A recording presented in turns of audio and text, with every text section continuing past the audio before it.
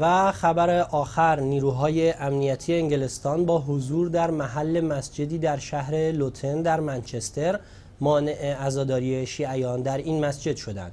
پلیس با بستن درب مسجد امام علی علیه السلام در لوتن از شیعیان حاضر در این مکان خواست از اقامه عزاداری خودداری کنند.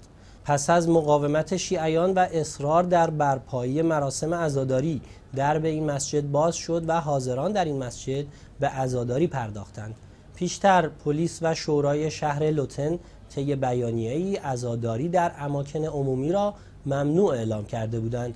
مسجد امام علی علیه السلام که همواره محل حضور شیعیان ساکن انگلستان است هر سال کانون برپایی مراسم عزاداری ابا عبدالله الحسین علیه السلام می باشد